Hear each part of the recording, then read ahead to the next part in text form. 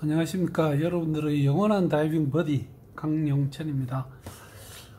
오늘 어, 제가 여러분들에게 드리고 싶은 말씀 다이빙 한 다음에 즉시 해서는 안 될 행동을 몇 가지 정리해 봤습니다.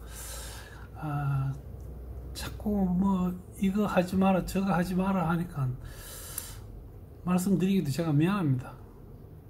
제가 하도 집사람한테 이런 말을 많이 들어가지고 어, 가급적이면 하지 말라는 말 좀 하기 싫어하는데 뭐 어쩔 수 없이 또 하게 되네요. 그 우리가 다이빙 하고 나서 어, 제일 잘 알고 있는 게 항공기 탑승입니다. 이 뭐 어렵게 이야기하지 않겠습니다, 여러분. 한 번 다이빙하면 최소 18시간입니다. 12시간 아닙니다. 한 번 이상 여러 번 여러 날에 걸쳐 여러 번 뭐 이렇게 했으면 recreational 아, 다이빙입니다. 무감압 18시간보다 훨씬 길게 이렇게 되어 있습니다. 아, 교육단체에 따라서는 뭐 더 바람직하게 24시간이라고 적어놓은 고마운 단체들도 있습니다. 같은 의미로 우리가 등산을 하는 거 혹은 그 고지대로 운전하는 거. 뭐 쉽게 말해서 요즘은 터널이 뚫려서 좀 괜찮습니다만은 어, 강릉 속초 쪽에서 서울로 넘어올 때 우리가 미시령, 한계령 이런 거 넘어와서 이상을 느끼면서 저한테 전화를 할 경우가 여러 번 있었습니다. 아, 이거하고 비슷한 건데요. 여러분, 이 외줄 타기 이, 이게 뭐, 우리말로 이건 뭐라 그러죠? 이거 집 라이닝이라고 합니다.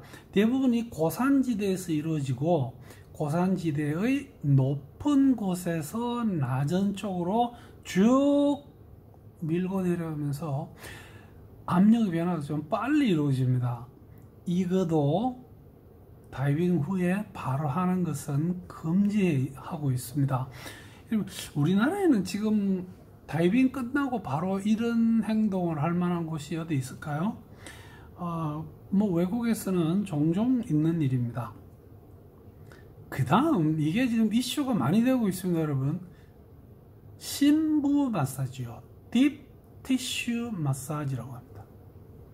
저는 이 어, 다이빙 여행을 그만큼 다녀도 지금까지 이 다이빙 이후에 마사지를 받은 적이 단 한 번도 없습니다. 얘는 제 성격이나 제 몸이 좀 고약해가지고 왠지 그, 그 느낌이 저는 좋아하지 않습니다. 그래서 하지 않습니다만은 이거 엄청 좋아하시는 분 많죠. 마사지도 너무 심하게 눌러서 하는 것은 안 좋을 것 같. 작다가 현재의 그 어떤 개념입니다. 아직도 댄 쪽에 저도 마찬가지고 다이빙하고 마사지 받고 나서 뭔가 안 좋은 것 같다. 이거는 거의 없습니다. 아, 마사지를 너무 심하게 하면 사실은 그 자리에 감압병에 의한 상해가 아니고 누름에 의한 막 이 무릎팍으로 꾹꾹 밟고 막 이러죠. 그래서 생기는 근육통이 있을 수 있습니다. 하지 말라고 하는 이유 중에는 그것과 감압병에 의한 통증이 헷갈리기 때문에 그런 경우도 있고요. 심지어는 마사지를 다이빙 이전에 이 신부 마사지를 받지 말라고 합니다. 그것도 주된 이유는 그걸로 인해서 오는 통증과 다이빙 이후에 오는 감압병에 의한 통증이 헷갈릴 수 있기 때문에 그렇습니다. 그래서 마사지 글쎄요 저는 뭐 부드러운 마사지는 괜찮다고 저는 개인적으로 생각합니다. 그러나 다이빙 의학계에서 혹은 다이빙계에서 다이빙 마친 날 그것도 빠른 시간 내에 너무 심하게 눌러 제끼는 그런 심부 마사지는 안 하는 게 맞지 않나 뭐 이렇게 보고 있습니다. 그 다음 이거는 확실한 어떤 행동 중에서 다이빙 이후에 아주 뜨거운 욕탕에서 몸을 지지는 거 이건 안 좋습니다. 이거는 뭐 명확합니다. 그 제가 그 제주도 다이빙 자주 다닐 때 그 서귀포에 있는 그 이름이 뭐였죠? 거기에 정말 뜨끈뜨끈한 물이 아주 기분 좋게 준비되어 있습니다. 근데 이 다이빙 마취가 여기 못 들어갑니다. 그래서 저는 그냥 아침에 주로 가고 오후에는 방에서 샤워하는 걸로 합니다. 샤워도 아주 뜨거운 물로는 하지 말라고 되어 있습니다. 근데 저는 제 개인적으로 우리가 아주 뜨거운 물에서는 샤워 못 합니다. 그래서 그냥 샤워를 할 수 있을 정도의 온기를 가진 물에서는 저는 개인적으로 괜찮지 않겠나 이렇게 생각합니다. 그러나 아주 뜨거운 욕탕에서 땀을 찔찔 뻘뻘 흘릴 정도의 찜질은 좋지 못합니다. 그건 확실합니다. 사우나도 마찬가지입니다, 여러분. 그 다음 이 술이약인데요. 이거 뭐 술, 이거 참, 그, 말리기가 쉽지 않더라고요. 네, 우리 집에 최효숙 트레이너는 많이는 안 마시지만, 하, 이 다이빙 가면 점심시간에 맥주 한 잔 마치고 돌아와서 산무교를 비어 한 잔, 이 정도는 괜찮습니다. 그런데 간혹 우리가 다이빙 여행을 가서 특히 마지막 날 막 엄청 많이 마시는 그런 경우들이 엄청 많습니다. 이 테이블 위에 산미구엘 비어가 한 200병씩 이렇게 테이블 위를 꽉 채우는 그런 경우도 있습니다.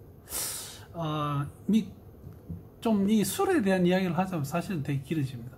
여러분 너무 많이 마시지 마십시오. 이 술로 인해서 감압병도 올 수 있고 술로 인해서 약간 어떤 정신적인 어, 해이에 의해서 다이빙하고 나서 해서는 안 될 행동으로 이어지는 경우도 있습니다. 그래서 가급적이면 social drinking 정도 하시고 24시간 지나서 떡이 되려면 떡이 되십시오 라고 책에 나와 있습니다. 또 한 가지는 프리다이빙입니다. 스쿠버 다이빙 하신 분은 하고 나와서 바로 프리다이빙을 하는 것은 금지되어 있죠. 제가 이 내용은 이미 뭐 여러 해 전에 어, 영상으로 상세하게 설명드린 어, 기억이 있습니다. 마찬가지로 이 과도한 운동인데 과연 어느 정도가 과도하냐 이것은 개인적인 차이는 있을 수 있습니다. 그러나 막 심장이 빨리 뛰고 예를 들어서 막 이렇게 조깅을 많이 하고 해서 우리가 땀을 뻘뻘 흘릴 정도의 운동은 금지하고 있습니다.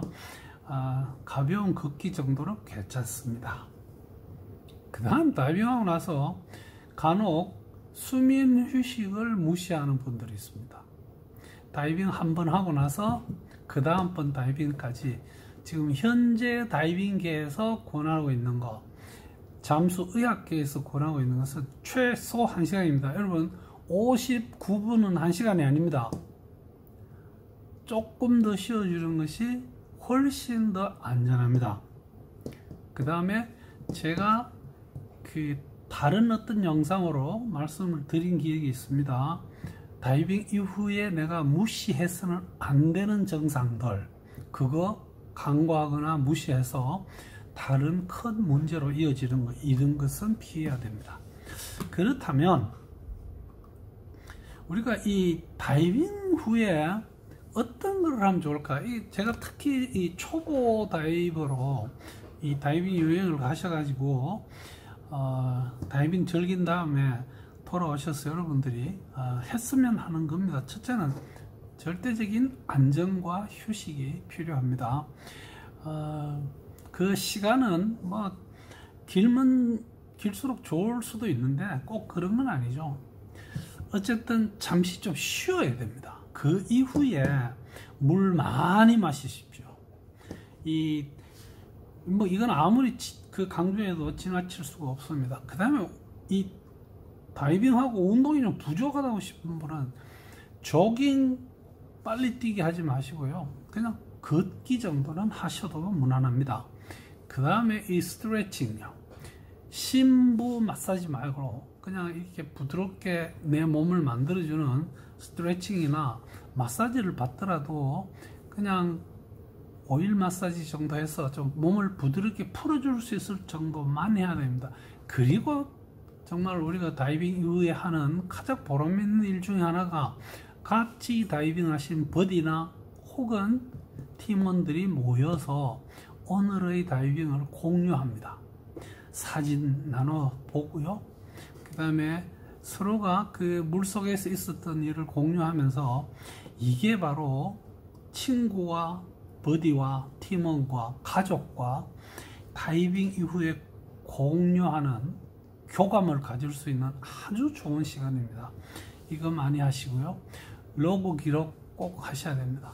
그 다음에 저는 이 어, 그냥 개인적으로 이 로그 기록을 제가 이 노트북의 어, 파워포인트에다가 이걸 적고요. 거기다가 사진을 어, 같이 얹어서 photo log를 적고 있습니다. 이거 다이빙 이후에 우리가 권장할 만한 그런 행동들이 아닐까 합니다. 여러분 잠깐 제가 아주 예쁜 여자가 물을 벌컥벌컥 마시는 장면을 잠깐 보여드리겠습니다. 제 말은 다이빙 이후에 물 마시는 여자는 모두 아주 아름답습니다. 여러분 어, 다이빙 안전하게 어, 즐겁게 행복하게 하시고 에, 오래오래 어, 저와 함께 다이빙 할 수 있기를 기대합니다. 여러분 시청해 주셔서 대단히 감사합니다.